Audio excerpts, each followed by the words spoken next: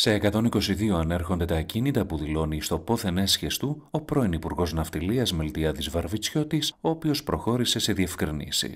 Ο βουλευτής της Νέας Δημοκρατίας με ανάρτηση στην πλατφόρμα X εξήγησε ότι οι περισσότερες εγγραφές αφορούν διαφορετικά δικαιώματα σε ένα κτίριο γραφείων, όπου όπως λέει υποχρεωτικά κάθε δωμάτιο εμφανίζεται ως ξεχωριστή εγγραφή. Ωραία όλα αυτά, αλλά κάποιος θα πρέπει να υπενθυμίσει στον πρώην Υπουργό ότι το επιχείρημά του μοιάζει σαν κάποιος να ισχυρίζεται πως η ακίνητα την περιουσία του φαίνεται μεγάλη επειδή έχει πολλά διαμερίσματα αντί για μία πολυκατοικία.